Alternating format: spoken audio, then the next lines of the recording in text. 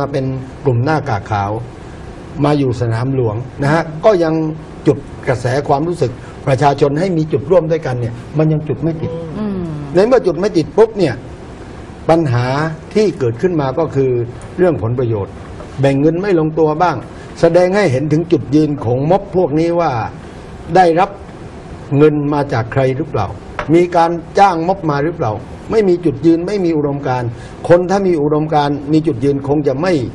มีเรื่องผลประโยชน์เข้ามาเกี่ยวข้องอืมอย่างที่เกิดขึ้นชัยวัฒน์บอกว่าเงินเหลือสองแสนแล้วอืมแสดงว่ามีคนให้ทุนมาอืมเพราะฉะนั้นเงินก้อนใหญ่ที่ผมเคยพูดบอกว่า 6,000 ล้านเนี่ยค่ะไว้ล้มรัฐบาลยิ่งรักษณ์เนี่ยที่ระดมทุนครั้งแรกเนี่ยใช้ไป3,000กว่าล้าน วันนี้ก็ยังเหลืออยู่3,000ล้านอืมก็เลยให้กลุ่มพ ลเรือเอกชัยสุวรรณภาพออกมาเป็นตัวจักรในการขับเคลื่อนแทนอืมเมื่อวานซืนสามวันที่ผ่านมาเนี่ย ที่จังหวัดชุมพรนะฮะ ค่ะ อำเภอสวี ที่อบตตำบลนาศักนะฮะวันนั้นน่ะสาวรแสนเนียมไปเองนะอืมถาวรแสนเนียมไม่ใช่เป็นสสชุมพรอ่าแต่ว่าไปที่ชุมพรไปที่อบตและเชิญอบตทุกอบตมาพูด มาด่าพรบนิรโทษกรรม บอกว่า ให้พี่น้องประชาชนเนี่ยออกมาต่อต้านเรื่องพรบนิรโทษกรรม พรบปรองดอง 3.5 แสนล้านบาท พร้อมทั้งพรบเงินกู้2ล้านล้านบาท นี่คือการขับเคลื่อนนอกสภา การขับเคลื่อนทั้งระบบของพรรคประชาธิปัตย์ต่างจังหวัดออกเดินสายโดยสสปักใต้กลุ่มหนึ่ง ในกรุงเทพนะฮะเขาก็หาความจริงประเทศไทยอืมด้วยหัวหน้าพักลงมือเอง แสดงว่าทั้งต่างจังหวัดและในกรุงเทพเขาก็ยังขับเคลื่อนกันอยู่ฮะนี่คือคือความเป็นจริง เพราะฉะนั้นเนี่ยเขาก็เปลี่ยนผู้นำทัพในการที่จะออกศึก วันที่สี่เขาประกาศแล้วอืมม็อบเสอ้ายม็อบแช่แข็งประเทศไทยค่ะออกมาบอกว่าวันที่สี่ชุมนุมใหญ่ เป็นการประลองกำลังครั้งแรกว่าเขาทำได้แค่ไหนอืมวันนี้เนี่ยเขาไม่ได้ทำเองฮะ เพราะว่าประชาธิปัตย์ออกไปเรียกร้องให้คนมาชุมนุม แสดงว่าภาพก็คือให้ม็อบแช่แข็งประเทศไทยเนี่ยอืมออกมาเป็นทัพนำแล้วเขาระดมคนให้ครับพรรคประชาธิปัตย์อาจจะไม่พร้อมที่จะออกมานำเอง แต่ว่าใช้ตัวแทนอืมออกมาเพื่อที่จะเรียกร้องเจ็ดข้อหกข้อให้รัฐบาล ไม่ว่าจะเป็นเรื่องของจงรักภักดีสองล้านล้านค่ะให้ เลิก3.5แสนล้านให้เลิกพรบทั้งหมดที่ค่ะ เข้าในสภาให้ถอนร่างทั้งหมดนะฮะแล้วก็เรียกร้องเรื่องของให้แสดงจุดยืนว่าจงรักภักดี อย่างไรนะซึ่งมันเป็นเรื่องที่น่าขำ จริง ๆ แล้วมันเป็นฮะ ข้อเรียกร้องหรือว่าการหาเหตุเพื่อที่จะออกมาชุมนุมเท่านั้นเองค่ะในมุมมองของทั้งสองคน คือความจริงแล้วเนี่ย โดยเฉพาะจุดยืนของรัฐบาลนี่ชัดเจนนะ แล้วก็พวกผมพี่หมูน้องหญิงทุกคนนปจทุกคนเนี่ยทุกคนจงรักภักดีหมดค่ะ ผมเนี่ยก่อนก่อนเข้าไปรับตำแหน่งสสเนี่ย ผมก็ได้ไปยานตนนะฮะอืม ต่อหน้าพระพักตร์พระบรมโอรสาธิราช พวกเราก็จงรักภักดีทุกคนต่อสถาบัน ตั้งแต่บรรพบุรุษมา เพราะฉะนั้นเนี่ยการใช้สถาบันมาเป็นข้ออ้างและทำลายทำลายขวายกระบวนการประชาธิปไตยเนี่ย เขาก็ใช้มาตลอด ไม่มีแน่นอน แล้วงบสองล้านล้านเนี่ยมันเป็นเรื่องความจำเป็นของประเทศ 3.5 แสนล้านบาทเนี่ย วันนี้น้ำท่วมประเทศจีน คนตาย 200 คนนะอืม แล้วยุโรปก็น้ำท่วมหลายประเทศนะครับ ปีนี้น้ำท่วมหนัก เพราะว่าความเป็นจริงแล้วเนี่ยบรรยากาศชั้นบรรยากาศมันเปลี่ยนแปลงทำให้ฝนตกหนักบ้างแล้งจัดบ้าง เพราะฉะนั้นรัฐบาล ของท่านยิ่งรักษณ์เนี่ยต้องแก้ปัญหาสองด้านพร้อมกัน ค่ะก็คือน้ำแล้งและน้ำท่วมอ่าค่ะ ที่จะต้องดำเนินการ เอาอยู่เอาอยู่อะต้องเอาให้อยู่ ครับ เพราะฉะนั้นผมถามว่าผมยอมรับนะ การตัดสินของศาลปกครอง แต่ผมก็อยากถามท่านว่า ถ้าน้ำท่วมเนี่ยท่านรับผิดชอบไหวไหม ถ้าน้ำท่วมคนตายสองร้อยศพน่ะอืม ท่านรับผิดชอบได้ไหม อืม แต่ว่าคือทุกอย่างมันก็ว่ากันไปตามตัวบทกฎหมายนะคะพี่เงาะที่มันจะต้องมีการดำเนินการเพื่อที่จะให้มันถูกตามกฎหมาย นั่นหมายความว่าคำถามก็ยืย้อนกลับไป ยังคณะผู้ที่มาดูแลเรื่องของการบริหารจัดการน้ำว่า ได้มีการศึกษาในส่วนของข้อกฎหมายกันรอบคอบมากขนาดไหนก่อนที่จะมีการผลักดันพรบนี้เข้าสู่สภา แล้วก็จะมีการเซ็นเพื่อที่จะเซ็นสัญญากับเอกชนในการดำเนินโครงการคือโครงการเนี่ยขั้นตอนในการทำโครงการเนี่ย เขาก็ทำไป แล้วก็ศึกษาไปอืมเอาบริษัท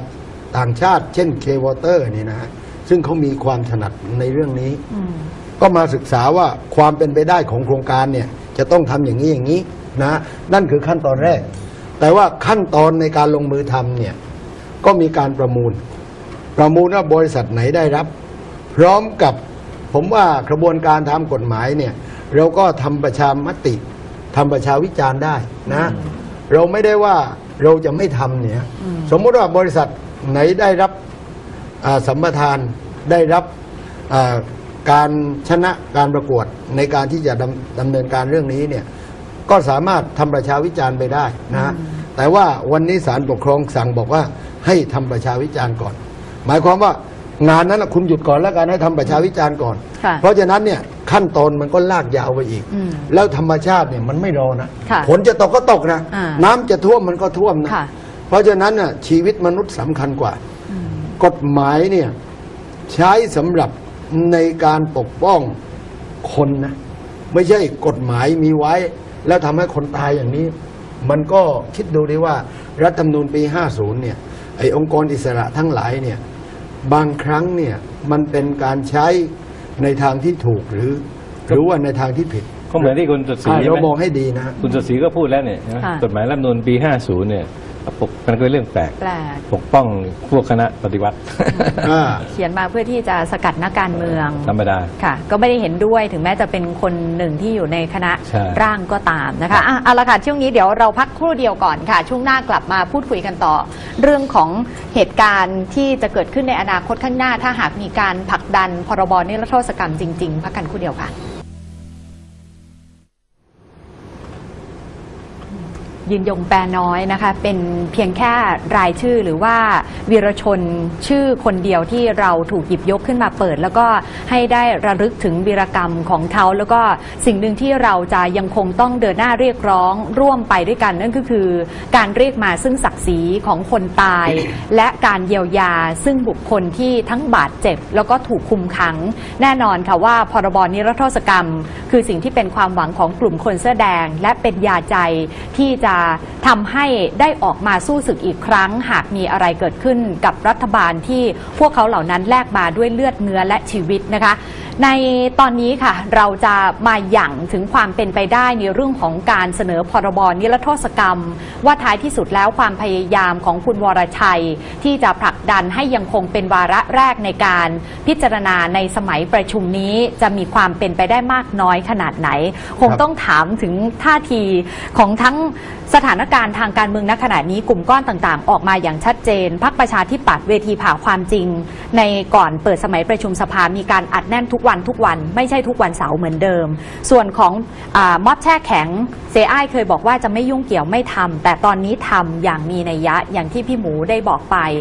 ไทยสปริงม็อบสนามหลวงรวมไปถึงหน้ากากขาว ก็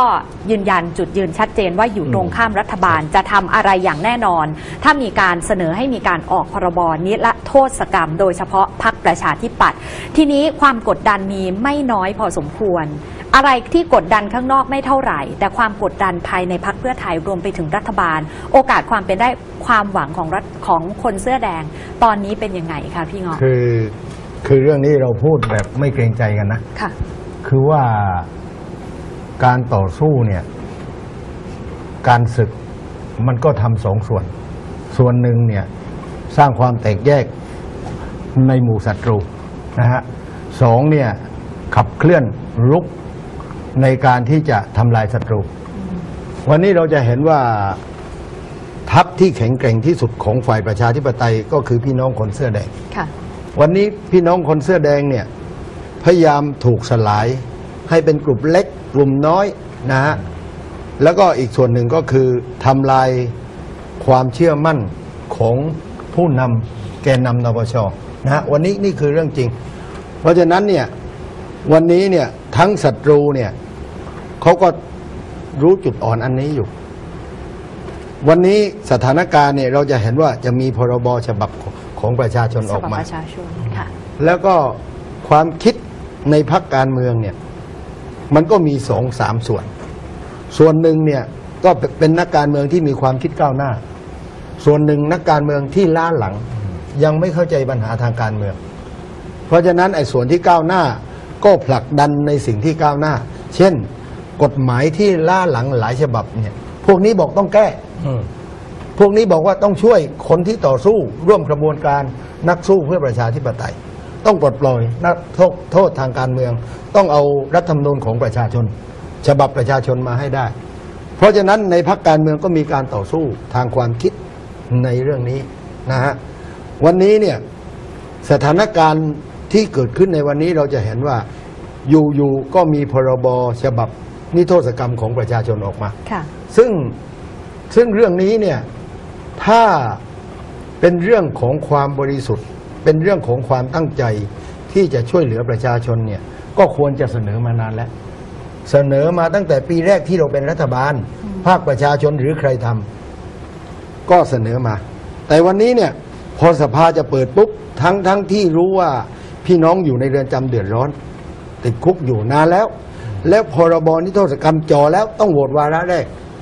แต่ผมว่าแม่น้องเกดเนี่ย ผมยอมรับว่าเขาเดือดร้อน ลูกเขาเสียชีวิตนะฮะทุกคนก็เดือดร้อนมีความทุกข์อะแต่ว่าวันนี้เนี่ย คนที่กำลังเดือดร้อนอยู่จริง ๆ เนี่ย คนที่ที่อยู่ในเรือนจำติดคุก ไอ้ทรมานมาก ก็เป็นเรื่องที่ทรมานกันอยู่ เพราะฉะนั้นเนี่ยสิ่งที่ทำได้ในขณะนี้ในสถานการณ์ขณะนี้ก็คือเดินหน้าโหวต รับหลักการพรบนิรโทษกรรมฉบับที่พวกเรา 42 คนเสนอเข้าไป ก็มันจอดอยู่แล้ว จออยู่แล้ว ค่ะ เพราะฉะนั้นการออกพรบฉบับประชาชนเสนอขึ้นมาเนี่ยมันเป็นเรื่องที่ผิดวิสัย ผิดสถานการณ์ของพวกเดียวกันเสนอในสถานการณ์ขณะนี้ ก็น่าจะทราบว่าสถานการณ์ขณะนี้ควรทำอย่างไร ต้องรู้เขารู้เรานะโอฮะ กาสมันไม่ใช่ โอกาสโอกาสมันไม่ให้ มันไม่ให้ พอเสนอมาปุ๊บเนี่ย ศัตรูที่ฆ่าประชาชนเอามาใช้ทันทีเลยทันทีอ่าพรรคประชาธิปัตย์ขานรับเลย บอกว่าให้เอาพรบฉบับของประชาชนอืมพูดเลยแล้วขานรับตั้งแต่ประธานวิปอืมตั้งแต่สสในพักจนถึงหัวหน้าพัก บอกว่าสนับสนุนพรบฉบับประชาชนนี่แหละอืมเพราะอะไร ผมมองว่าวันนี้เนี่ยพักประชาธิปัตย์กำลังหาช่องทางอยู่พอดีนะฮะหาช่องทางเพื่ออะไรโดยเฉพาะอ่าเขาบอกว่าวันนี้เนี่ย เขาสั่งให้ทหาร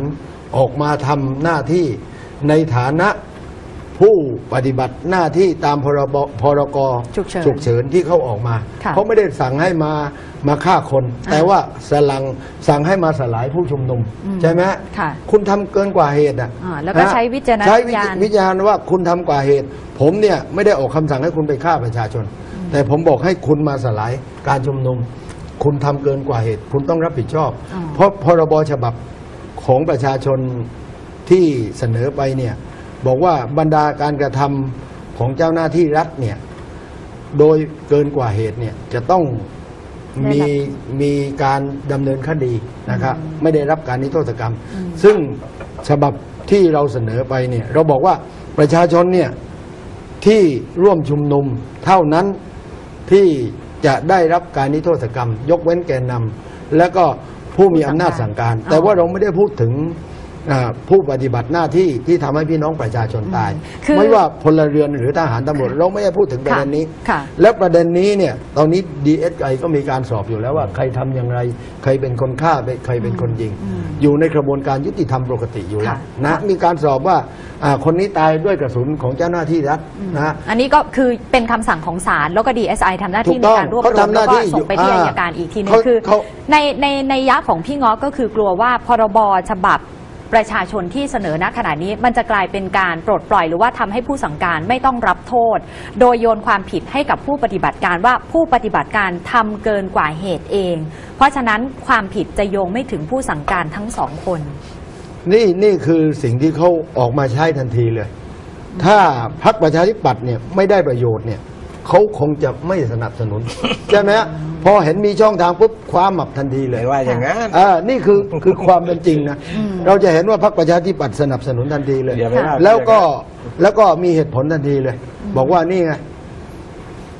พรบฉบับประชาชนเนี่ย ก็ให้เอาทหารที่ฆ่าประชาชนอด้ย่าวยไปว่า